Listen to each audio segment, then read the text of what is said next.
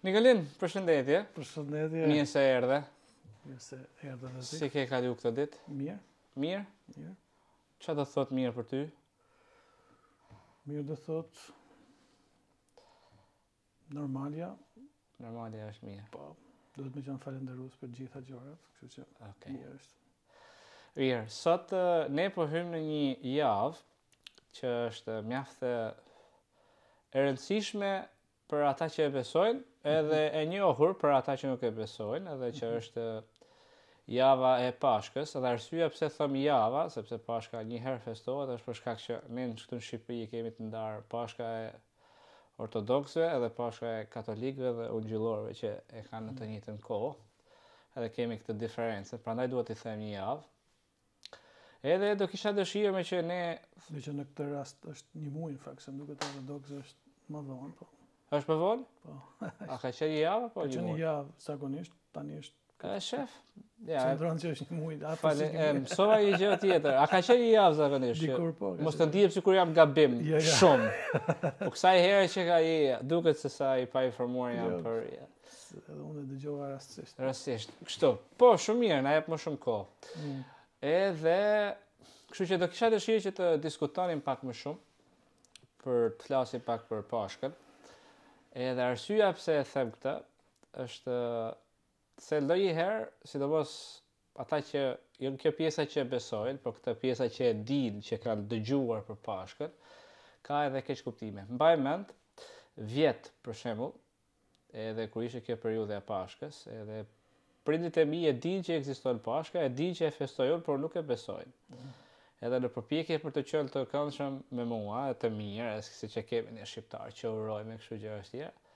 edhe më duket ishte të premten ose të shtunën, edhe më thanë, o, gëzuar Pashkën e kështu, tha, kur ringjall, a u ringjall sot, apo a ringjallet nesër? dhe kishte, kur ringjallet, edhe për mua perceptimi që ishte, ishte që çdo Pashkë, çdo vit, ka një besim që ringjallet Jezusi me një ditë të caktuar, pastaj maron punë dhe e bën këtë në mënyrë periodike, vit për vit sa herë festohet, sa herë kujtohet, po, po, po. Kur e vërteta është që është edhe u përpoqa t'i sa munda t'u shpjegoj që thashë e vërteta është në ai vazhdon, është ringjall një herë, vazhdon të jetë i gjallë Jezusi, por ne thjesht herë pas here festojmë, vit për vit ne festojmë edhe kujtojmë atë çfarë ka bërë ai për njerëzimin. Kështu që çfarë ka bërë ai për njerëzimin? Na trego pak. Ja. Um, ti e bëre shumë të kështu, shumë të se si është perceptimi në nga miqësia, nga familjarët, nga njerëzit. Për mua në këtë rast është vështirësia më shumë është që njerëzit te bisedat klishe, ke parasysh, kur janë bisedat klishe, nuk janë kot klishe, Për shembull, klishe është du me thanë gjanë e mirë, po s'du me u zhytë shumë, e kupto, nuk du me e kuptu shumë. është pak e lodhshme me thënë drejtën me kuptu, me, me hargju kohën, me kuptu si, qysh. Pra, që të të ndajmë, për mua është një gjë të ta kuptojmë diçka, tjetër ta, ta besoj. Pra, thjesht e para ta kuptoj çfarë po thonë ata që thonë se Unë po përpiqem të të kuptoj. Pastaj ta ta besoj. Që që për mua për Pashkën ose si thua kur pyetja jote çfarë ka bërë për njerëzimin ose çfarë çfarë çfarë ka ndodhur. Çfarë ka ndodhur është Pashka siç e kemi ne në shqip është nja kjo që Paskua nga latinishtja që ideja që është mbikaluar, ne jemi mbikaluar, kjo është koncepti. Pra, shpesh e kuptojmë ne në fazën e ndërtimeve të rrugëve, vazhdimisht themi mbikalim këtu, mbikalim aty, kështu që shumë mirë, më pëlqen. Kështu që çfarë kemi mbikaluar? Çfarë çfarë kush në fakt çfarë na ka mbikaluar? Okej. Okay. Ne na kanë mbikaluar. Okej. Okay. Në një, shumë njerëz e kuptojnë këtë Pashkën, ke parasysh që kanë qenë ato filmat me fëmijë vizatimorë që shkon nëpër Detin e Kuq. Ëm por e vërteta është mbikalimi, këtu kuptimin biblik të fjalës, mbikalimi ishte hera kur te në Moisiut i thotë që duhet të marrish gjakun e qingjit, ta lyësh dyert e shtëpisë, dhe kur të vijë engjëlli i vdekjes, që do të marri të parëlindurit e Egjiptit, do ta shohë këtë gjakun, edhe engjëlli i vdekjes do të mbikalojë shpinë tënde. Pra ky ishte tregimi i Dhiatës së Vjetër. Pra kjo është kjo është quajtur Pashka. Okej. E pra ky është mbikalimi i parë. Pra je mbikaluar nga vdekja. Pra vdekja të ka mbikaluar. Nuk të nuk të vizitoi në atë kuptim. Tani Jezusi vdiq dhe u ringjall fiks në festën kur Izraeli tashmë i festonte Pashkët. Pra Pashkët nuk kanë filluar me Jezusin. Pashkët kanë filluar që me me Moisiun. Izraeli i feston edhe sot Pashkët. Por tani Jezusi në këtë histori ai ai zëvendëson qingjin. Qengji që duhej sakrifikuar që të lyheshin dyert, traret e dyerve. Tani është Jezusi, nuk është më një qengj. Pra është ky është qengji që duhet është sakrifikuar, ka vdekur dhe kështu është lyer kjo derë Po tani është më shumë në kuptimin personal të fjalës, gjithsecili, jo vetëm gjithë një familje, edhe kur, kur të vijë vdekja është na mbikalon e tani, kjo është muhabet tjetër, po kjo është kuptimi i, i vjetër, ose kuptimi i pajisur, i ri i, Jezusi me që se çfarë kuptimi kishte edhe çfarë kuptimi tani mori në lidhje me me Pashkët që ne festojmë edhe. Mirë, ti na tregove pak se si kuptimin, historicitetin e saj, si lidhet me Pashkën e Dhiatës së vjetër edhe pastaj se si Jezusi e përmbush atë. Por nëse mendon si unë, për shembull për mua ka shumë rëndësi, ok, ka ndodhur kjo, Herë Pashka e parë, mbikalimi i parë në kohën e Moisiut, ka ndodhur edhe Pashka e dytë në kohën e para kur ka ndodhur para, le të themi, afërsisht 2000 vjetësh pra tek vdekja dhe ngjallja e Jezusit. Edhe le të themi meqë është kohë festë, mos të hyjmë tek argumenti a ndodhi a s'ndodhi për të cilët ka argumente, por nëse e marrim të mirëqenë që ka ndodhur, si duhet të më ndikojë mua një gjë, një ngjarje historike Një ngjarje që ka ndodhur para dy mijë vjetësh, si e ndikon realitetin tim? A e ndikon në radhë të parë dhe nëse po, si e ndikon kjo ky event, kjo ngjarje, mjaft e rëndësishme për ata që e besojnë, si e ndikon realitetin tim? Ose tëndin, ose të secilit. Po pyetje shumë e mirë. Pyetje e mirë, pyetje. Po pres për një përgjigje akoma më të mirë. Do të thotë përgjigje. Tani Kjo po, do mund të shkojmë gjatë, kështu edhe ti jam i sigurt që mund të flasim. Edhe për ty si të ndikon edhe ty po. Ëm um, një version afërsisht i mesëm do ishte që jo, ne njerëzit kemi uh, të gjithë kemi halle të ndryshme. Kemi halle. Halli hallit nuk i ngjan. Në fakt e shprehja është qejfi qejfit nuk i ngjan, po edhe halli hallit nuk i ngjan. Nganjëherë e dëgjova diku që thoshte situata e keqe e jotja mund të jetë ëndrra e dikujt. Hmm. Pra ti mendon që je në një situatë katastrofë, edhe sa keq që je, je gati në depresion, po situata jote që të ka çu në depresion mund të jetë dikush tjetër duke ëndrruar ah sikur të ishte aty. Që do ishte interesant, po lexoja, po dëgjoja në kështu në një që interesant është që anglezët ishte vendi i dytë nga fundi të palumtur. Wow. Dhe tani ke shqiptarë duke shku me gomone në Angli. Këpërësish, anglezët e kam situata e tyre e palumtur, okay, është shqiptarë duke shku me gomone. Ne mund të jemi Dëgjova gjithashtu që fëmijët në Gaza, për shembull, adoleshentët në Gaza thon, thoshin që shpresojmë të vdesim shpejt që të ikim nga ky tmerr. Po ama kështu adoleshentët thonë gjithandej nëpër botë, shpresojmë të vdesim shpejt nganjëherë, sepse për arsye se i la e dashura, e kështu po situata e tyre me situatën e tyre nuk është komplet të ndryshme. Komplet të ndryshme. Pra kemi shumë halle. Mund të kemi halle ekonomike, halle andrrash, halle zemre, zemre shumë, shumë. Halle identiteti. Po identiteti, ekzakt. Identiteti në fakt janë goxha të rënda, si si halle, nuk janë aq të vogla, por gjithsesi janë pak si aristokratike si halle, pra ke halle zotnish e halle... Po, po pasojat janë katastrofike, pavarësisht që problemi është aristokratik, po, pasojat pastaj mund të jenë katastrofike njëlloj. Njëlloj, ekzakt. Por, emëruesi i përbashkët që ne të gjithë kemi, kemi gjithë një emërues të përbashkët, është që kemi vdekjen. Ne të gjithë vdesim. He? Ky është hall universal zotni sklav i varfër, i smurë, i bardhë, i bardhë, i zi, etj, etj. Është të gjithë kemi një hall. Kemi ne vdesim.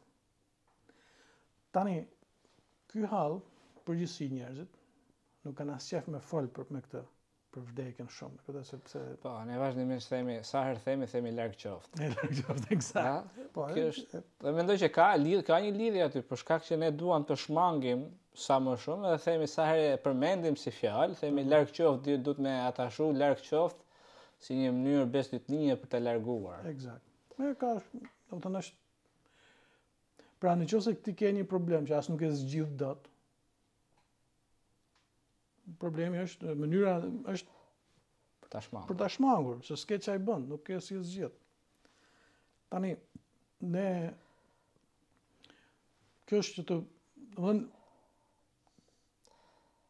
Pashka pretendon ose Jezusi me vdekjen e Jezusit pretendon se ka zgjidhur këtë problem. problemin më të madh të njeriut. Pra, ky është problemi më i madh, ka zgjidhur, ka adresuar këtë problem.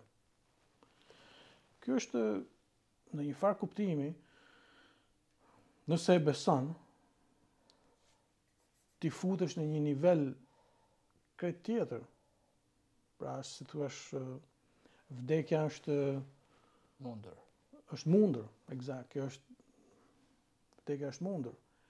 Tani problemi yt i madh fatal, si të thua, pra vdekja ka një sukses fatal, pra 100% sukses. E pamundur asnjëherë, Pretendimi është që është mundur. Tani në qoftë se ti e beson këtë që është mundur, e vërteta është që je në një je duke operuar tani, je duke funksionuar në një nivel krejt tjetër. Kjo është një nga gjërat që do thoja në në kuptimin si të ndikon ty sot. Mm -hmm. Pra, po E, e kuptoj, por ndoshta për ta për ta bë pak më praktike, hmm. çfarë më ndihmon mua, pra sepse është ose përpjekja për ta bërë më të prekshme. Hmm. Sepse ne themi, pra Pashka ashtu siç e the ti pretendon, edhe është e vërtetë që vdekja është mundur, armiku përfundimtar, ajo tashmë është mundur. Edhe çfarë më më ndihmon mua, është që është kjo që the ti hyn në një tjetër nivel, do të ishte pak a shumë te mënyra se si e sheh për mua kur e beson edhe si të vërtet, si ngjarje e vërtet që ka ndodhur. Dhe kur ti ke besim që Jezusi vdiq dhe u ringjall për arsye që ai tha, për shpagimin edhe për shpëtimin tonë, i gjithë ky proces. Pastaj është ka ca gallata që dalin në internet e thonë është kjo kënga është një pjesë e një këngë në anglisht hey i'm gonna live forever mm -hmm. kështu që praktikisht kjo bëhet një realitet edhe për mua në pashkë ajo çfarë ka ndodhur për ata që besojnë është që vdekja në një sens për ata që e besojnë i përket të shkuarës Dhe gjithashtu, mua më ndihmon që duke patur këtë lloj mindseti, këtë lloj botëkuptimi, të ndihmon edhe që ta vendosë, ke parasysh, i jep një themel të ri shpresës. Pak a shumë. Edhe, se për shembull ne në Shqip, për mua, një ndër shprehjet më fataliste në shqip që ne e themi gati gati në përpjekje për t'i dhanë zemër dikujt, por unë mendoj që bën krejt efektin e kundërt është kjo shprehja shpresa vdes e fundit. Mm. Fakti është praktikisht ne po themi në shumicën e kohës kur ne e themi këtë, jemi kemi arritur në pikën që tash Presim çfarë do ndodhë, unë nuk kam ndonjë gjë në dorë. Që për vdekjen është në fund të fundit siç e the ti është 100% sukses. Është e vërtetë që ne vet nuk kemi diçka në dorë, por pashka është ta dorëzojmë këtë te dikush që tashmë e ka mundur atë. Hmm. Edhe kjo na çon nga natyra që ne zakonisht mua më pëlqen të them që kur themi këtë që shpresa vdes e fundit, gati gati ne jemi duke luajtur bixhoz me shpresën. Hmm. Pra ne themi shpresa vdes e fundit, praktikisht jemi sikur qenë që jemi tu luz bixhoz, ke, ke parasysh ose të kanë qenë të famshme skedinat dikur, e themi loz, lozin këto dy ekipet, mm -hmm. edhe unë shkoj edhe vendos ça kam, i vendos aty, por është veresie kjo muhabet, është edhe ndodh s'ndodh, edhe ata që lozin skedina dhe e din, e din që është Gjëja e fundit, ta vendosësh aty je në e ke vendosur veten në në në radhë për shkatërrim. Mhm. Mm Okej. Okay. Por çfarë ndodh me Pashkën? Edhe mua më pëlqen shumë një shprehje mendoj që e ka thënë C.S. Lewis. Mos e vendos shpresën tënde në një vend ku ti mund ta humbasësh atë. Edhe përgjithsisht qenia njerëzore, edhe për jetën e vet, edhe për gjëra të rëndësishme, e vendos shpresën në gjëra që ne mund ta humbasim. Edhe në jetë, kjo është e vendos shpresën në marrëdhënie personale me dikë, e vendos shpresën tek të kesh pushtet dhe influencë dhe kjo do të të çojë ty sa më larg të jetë e mundur se për vdekjen s'e mendon kush kanë ra gjithë dakord e vendos atë tek përfitimi i të mirave materiale aman të kem më shumë se pastaj nëse kem më shumë mundësitë janë më të mëdha edhe thjesht e shty më shumë, mënyrat mund të jetë me me mjekësi a me të ndier mirë veten çfarëdo qoftë e shty më shumë por në fund të fundit kësaj s'kam ç'i bëj Por të gjitha këto elementë janë të fundme, pra praktikisht kur ne vendosim shpresën tek paraja, tek pushteti, tek influenca, tek çfarëdo qoftë, ne jemi duke e vendosur atë në diçka që herët a vonë do të humbasë. Po. Edhe prandaj them që ne jemi duke lozur bixhoz me shpresën. Mm. Por pashka, vdekja dhe ringjallja e Jezusit, na jep ne një vend ku të vendosim shpresën në diçka që nuk mund ta humbasim. sepse dikush tjetër që është vetë Jezusi e ka garantuar atë. Mhm. Edhe ndryshe, kur ne në këto gjërat e tjera në fillim themi që kemi shpresë për të ardhmen, po. në rastin e Pashkës kemi një shpresë që vjen nga e ardhmja. Mhm. Edhe mendoj që ai duket sikur je duke shumë pak tepër filozofike, por mendoj që të jep një lloj shpresa ka themel të ri me Pashkën. Kur besohet? Po. Të, ti e the shumë mirë. Po, nuk është është Jo, po do të thoja që nuk e kjo kjo shprehje, kjo shprehje që ka themel të ri. E vërteta është që në ti mund të ne mund të kemi shpresë Për shembull kjo kjo kjo ideja që shpresa vdes e fundit është fatale në fakt, por e vërteta është që në momentin kur dikujt i vdes shpresa, psikologjikisht po them, ai është në gjendje shumë herë më të keqe se sa Domethënë mund të të ndodhin fatkeqësi të ndryshme, por kur të ka vdekur shpresa, motivi për jetën, arsyeja pse je vërdallë, e ke parasysh është kjo, është goxha psikologjikisht është shumë keq. Pra ti gati gati mund të jesh më mirë se unë objektivisht të flasim, por nëse ti s'ke shpresë më, s'ke qëllim më për jetën, s'ke qëllim të, të ka humbur fare. E vërteta është që nganjëherë ti mund të jesh duke shpresuar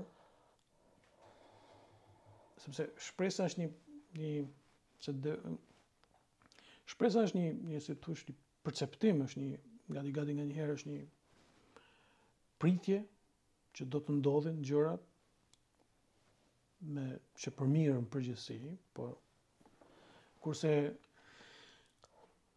po se ku e ke vu këtë shpresë, pra cila është arsyeja mund të jetë aftësia jote, uh, mund të jenë rrethanat, mund të jenë edhe Kjo është një farë baze, këto janë bazë. Po e the bukur që nuk janë po në fund fare janë përkohshme, në fund fare janë jo të sigurta.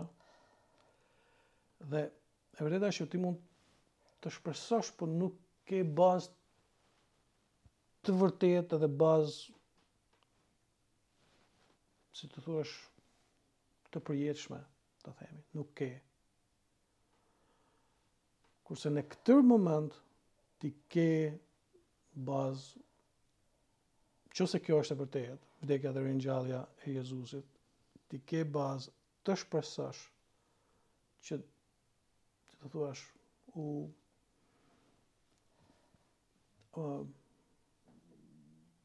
Kjo shpresa është objektivisht e bazuar. Kjo është një nga nga gjërat. Pra ti ke të drejtë të kesh shpresë. Herët e tjera, mirë është të kesh shpresë se të bën të ndjehesh mirë. Po e vërteta është që faktikisht është skemë piramidale. Okej.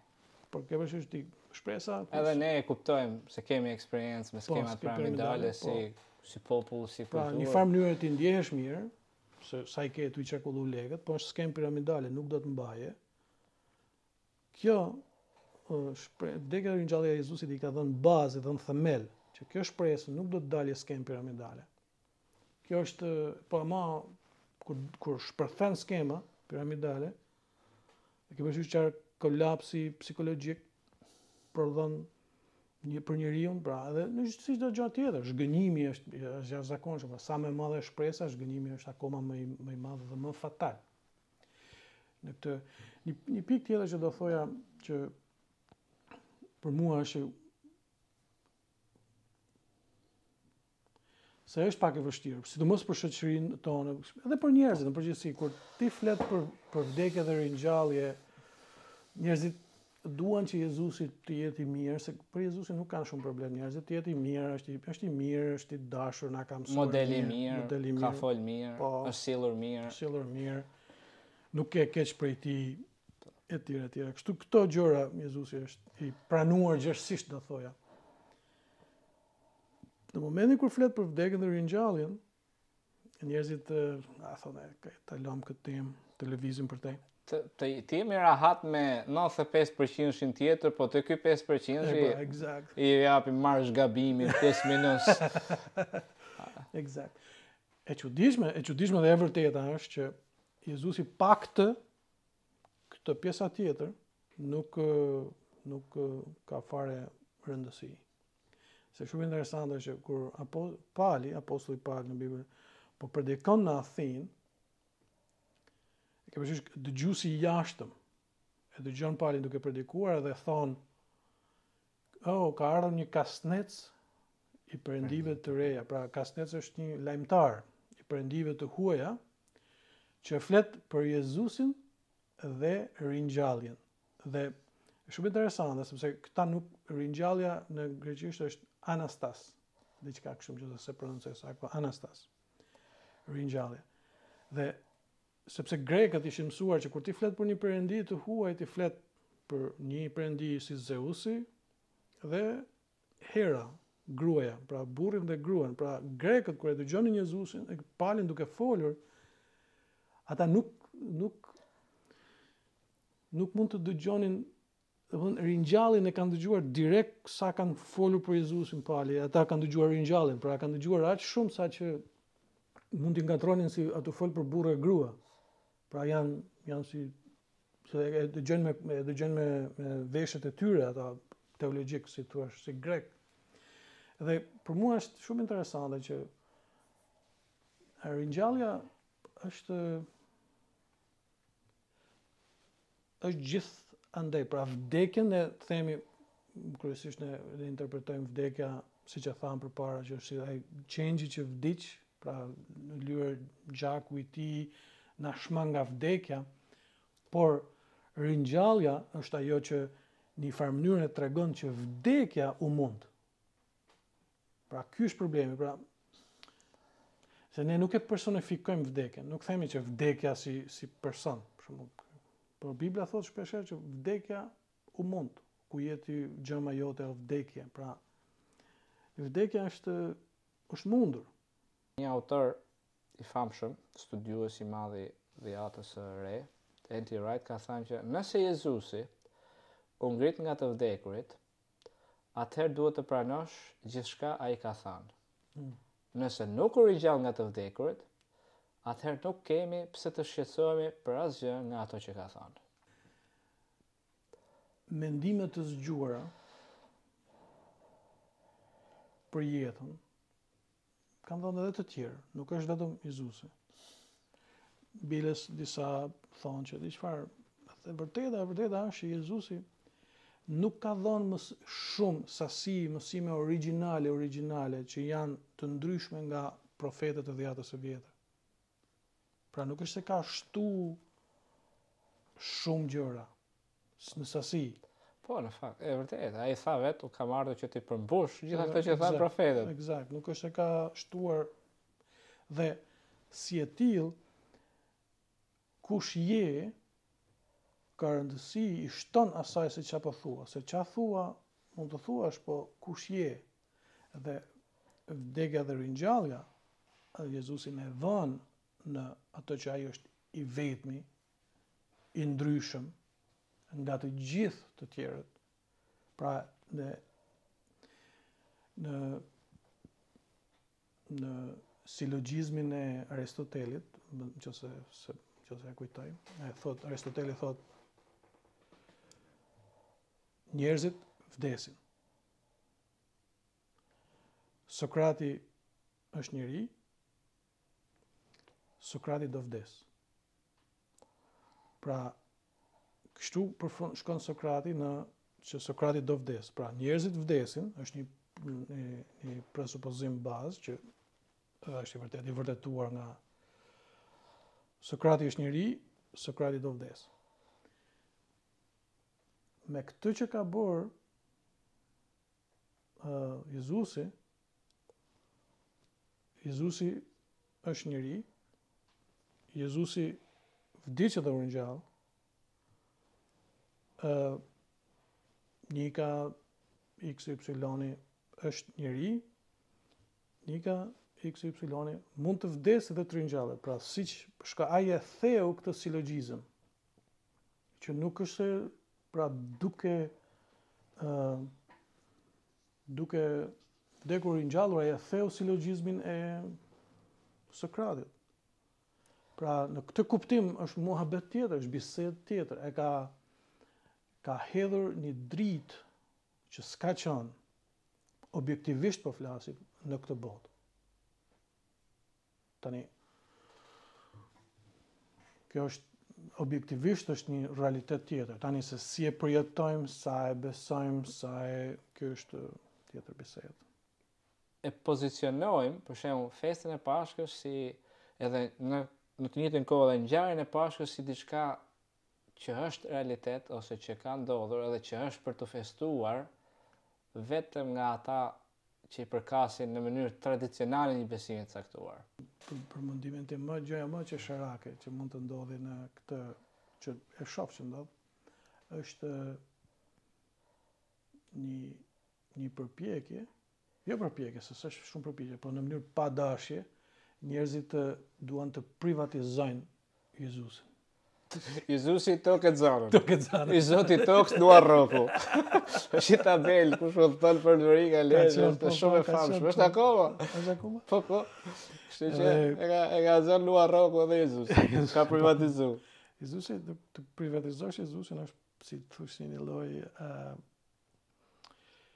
Interesante është në fakt e, u Jezusi ose ungjilli praktikisht është mua më pëlqen shumë një shprehje, po që më pëlqen i përqafon e përqafon çdo kulturë dhe e lëshon pra nuk është e dispens, pra e lëshon dhe nuk është peng i asnjë kulture. Pra kjo është ideja, pra e përqafon çdo kulturë pavarësisht se ku je dhe nuk është peng i asnjërës. Nuk është do ta një kulturë i ngjitet aq shumë saqë po s'e more edhe këtë kulturë, ë, uh, atëherë s'e ke marrë Jezusin. Nuk është fare e vërtetë. Pra në kjo është tani për për Jezusin për Biblën ka vetëm dy lloj njerëzish, nuk ka pesë lloj njerëzish ose 15 lloj njerëzish. Shumë lloj shumë. Shumë lloj njerëzish, ka vetëm dy lloj njerëzish. Një grup që do thon do i thon Perëndisë vullneti yt u bëftë, Dhe një grup që Perëndia do t'ju thotë atyre, ok, vullneti jot u bëftë, siç e thotë C. S. Lewis. Pra janë dy njerëz. Ose njerëz që do thonë uh, që jemi uh, penduar dhe duam që Jezusi të na zëvendësoj te ky engjëll i vdekjes, pra vdekja e Jezusit të numërohet për mua, jeta e tij të unë të marr jetën e tij.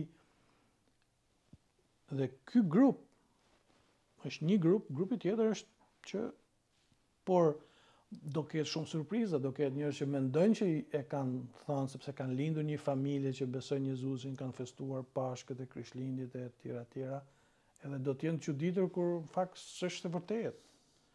Mund të ketë njerëz që kanë lindur në familje që që nuk e kanë traditë këtë dhe e besojnë personalisht edhe kjo është ajo që ka për të ndodhë, pra praktikisht fakti se ke lindur në një familje të caktuar, uh, ndikon 0% nëse ti je pjesë e atij grupi, grupit të parë apo të grupit të dytë. Fakt kjo është një mundësi që për të për ta çuar Pashkën përtej festës së një grupimi të caktuar, edhe është një në fakt shpresoj që kushdo që ta dëgjojë këtë të bëjë këtë në cilin grup jam unë. Mm. Në grupet që ndan Jezusi, jo në grupet që i ndajnë njerëzit, pastaj mm. për mm. arsye nga më të ndryshme, po a jam ai grup që i them Perëndi u bëftë vullneti yt apo jam në grupin ku Perëndia më thotë